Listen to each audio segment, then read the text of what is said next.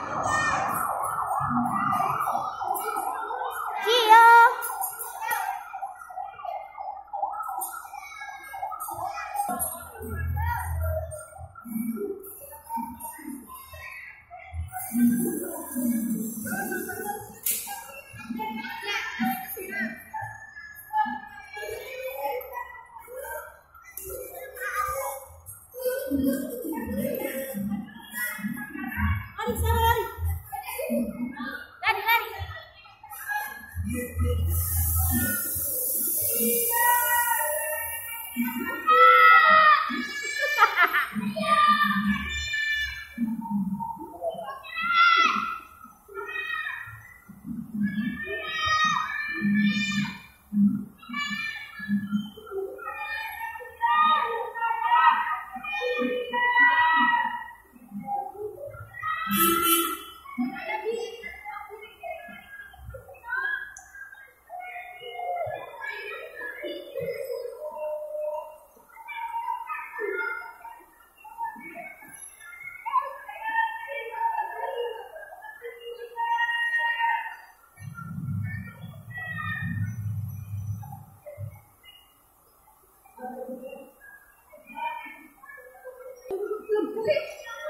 Sabar ngalangin, jangan di depan anaknya.